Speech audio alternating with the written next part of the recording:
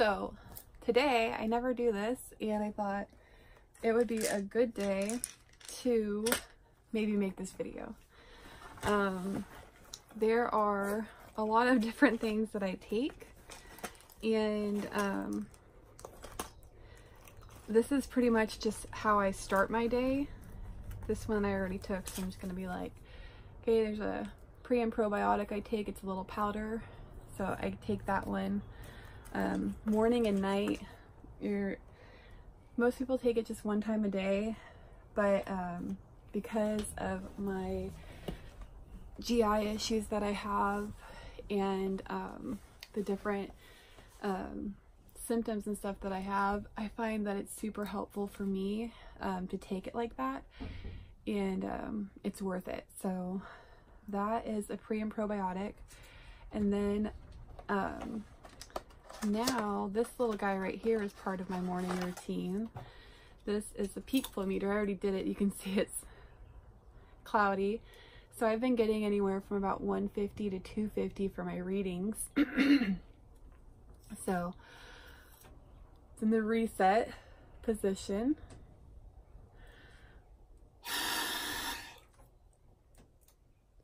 So we are at about 220 right now. So my goal is to hopefully get over 300. Um, for my body structure, I'm supposed to be in the 500s, around 550. So a little bit low. Um, thermometer, take temperature. I don't have it right here, but pulse ox is something that I keep on me for when I'm having an allergic reaction. It's been really helpful. Not only does it like monitor your pulse, um, but it also tells me like what my oxygen level is at and so I can tell if my rescue meds are working. Um, when I have an allergic reaction my oxygen levels will go below 94 um, and then when the medicine kicks in I start going up 95 all the way up to between like 97 and 99 um, which is really helpful. Um, I do take something for pain so a little that there and this one right here is an H2 um, for mast cell patients. You use an H1 and an H2. So that's my H2. Here's my H1. Um, these are different types of antihistamines to help stabilize your mast cells. I take um, two, three different types daily. On bad days, I will take up to five different types and I'll take up to 16 different doses a day of the different types accumulated um, to manage through those times. So I'll take these real quick. Next on my list is vitamin C.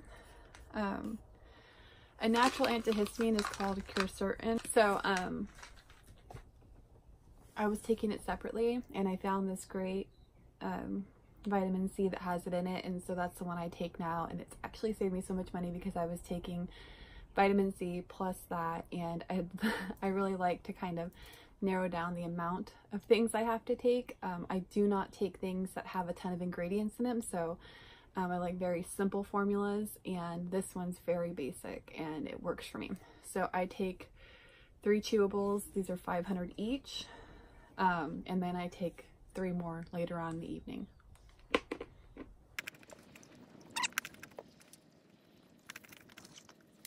Next, these are for my immune system. These help empower my fighter cells. Um, there's a classic, I'm in a try formula right now that I'm taking. Um, and the classic helps tremendously with respiratory and GI issues. The try helps with just really um, getting your fighter cells going and stuff like that. And then there's also a glutathione product that I take along with it and um, that is super helpful for not only cellular energy but to help to pull toxins out as my immune system is kicking up and kicking butt uh, we want to make sure that we have a safe way for things to evacuate, so to say. So that's my words. So I will take um, at least another eight ounces or so of water after this. And then now we're on to my inhalers. This is your most common one, albuterol.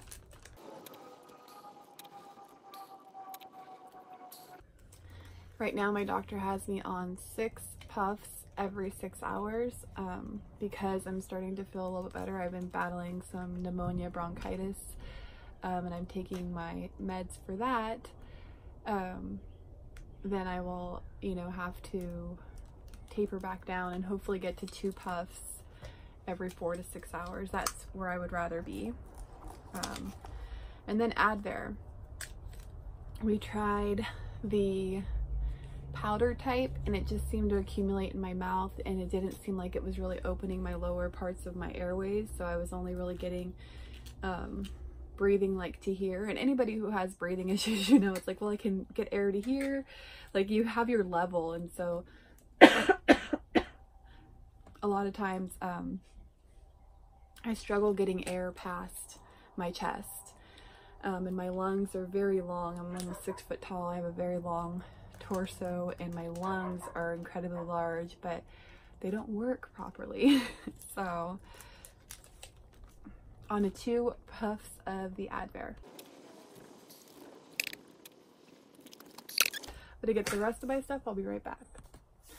Okay guys, so we've got the antibiotic that I'm on right here. This is to treat the bronchitis pneumonia and the prednisone to help it just helps me breathe whenever I'm dealing with any type of um, like lung infections or respiratory distress. And so the prednisone helps anytime that my respiratory system is in distress.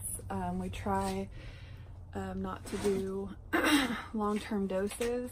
Um, they have wanted to put me on it. Years ago I was taking it every day and then I didn't want to anymore. And so um, we do like tapers. This time we're just doing a low dose for, for 10 days.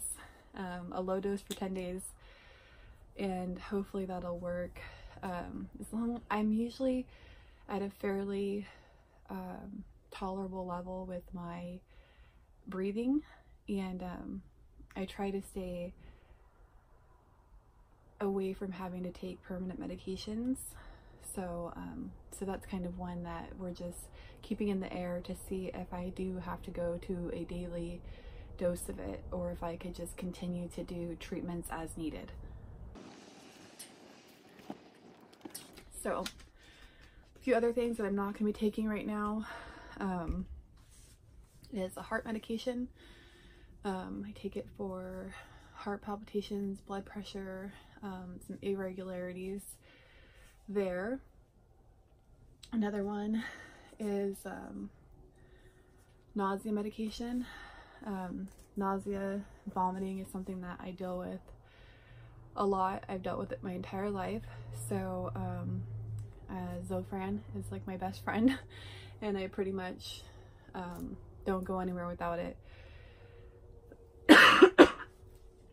Um, and then the last one is a medication that I take for when um, I have tremors.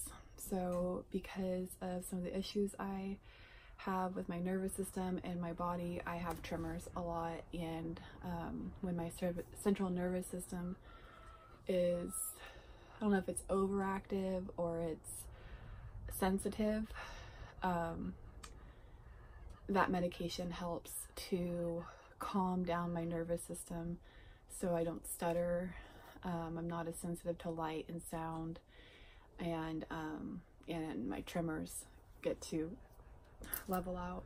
Um, there's also a migraine medication, but that's one that's taken as needed. And I think I've pretty much covered the basics of everything that I take. Um, I don't think I missed anything. There's a collagen drink that I drink.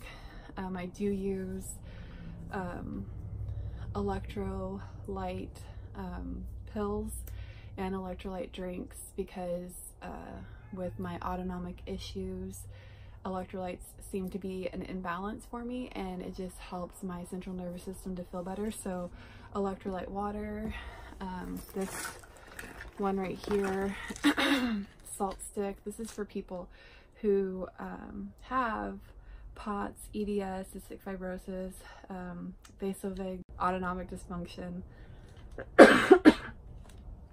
and so that's pretty much the basics of it, guys. Um, anything else that I take is not regular, um, but that's my combo here and this is antihistamines. So I know a lot of times people keep their heart medicine in it, but because I have EpiPens on me at all times, I have two to three EpiPens um, because I have severe anaphylactic reactions. This has a rescue med of Zyrtec, which is a 12 hour long lasting antihistamine, as well as Benadryl. So um, if I start to have a reaction and I don't have my little fanny pack on me, or my EpiPens nearby. And no matter what, for my recommendation from my doctors is to always try, if you can, use your rescue meds before you have to use your Epi. Um, but if you're to a point where you need your Epi, you just Epi. So um, that is um, what I've been told from my allergy immunologist, my internalist. Um, so yeah, so this right here just keeps antihistamines on me um, so that way I have them in a waterproof area. And I've used this multiple times. It's come in so handy. Um, and then it keeps you from having to dig around in your purse or your bag, even though my medications are all stored in different bags. These are inhalers. Um, so I've got all these different bags for my different meds and my purse is literally like my medical, um, uh, and then blood pressure cuffs too. So you gotta keep track on your blood pressure because mine goes up and down when my autonomic dysfunction is messing with me, my central nervous system's messing with me. So this lets me know uh, when or if I need to medicate or to contact my doctors or to go to the emergency room. So um, hopefully this gives you a little insight on my medical journey.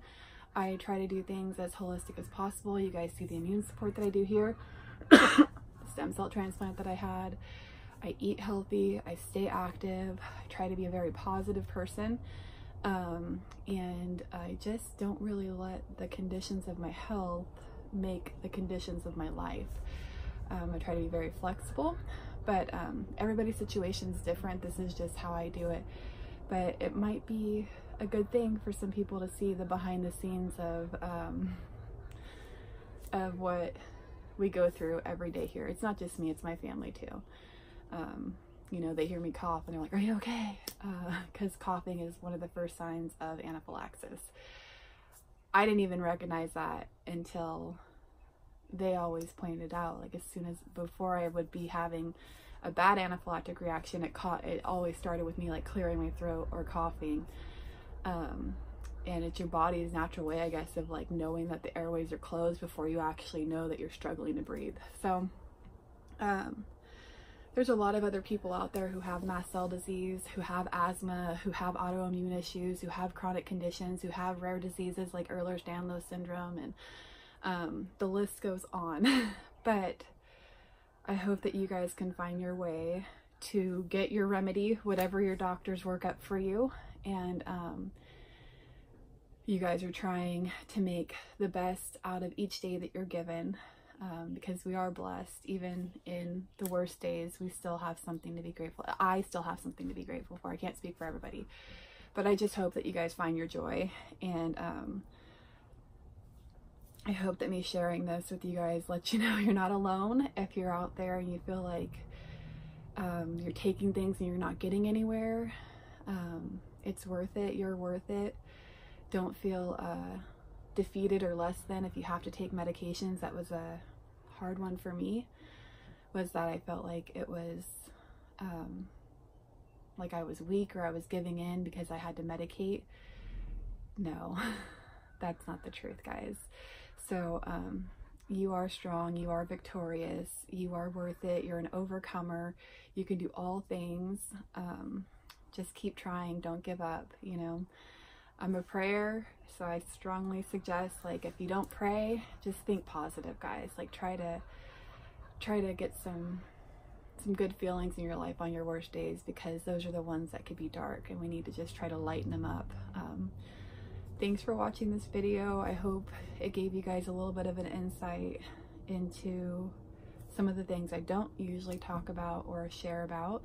And um, yeah, so I don't know what your medicine cabinet looks like, but mine goes everywhere with me. I don't leave home without any of my medicines. I don't go anywhere without them. My medications are my lifeline and um, I'm so grateful for Western medicine. I'm so grateful for holistic medicine. And uh, I have a gang of essential oils on top of that and natural cleaners and stuff. And so we'll go into that in more videos as we unfold more. But um, just know that whatever your medicine cabinet looks like, whatever your daily regimen is, do what you have to do to make it through the day. And I hope that you guys have a great medical team like I do. It really does make a difference. So God bless, guys. Bye.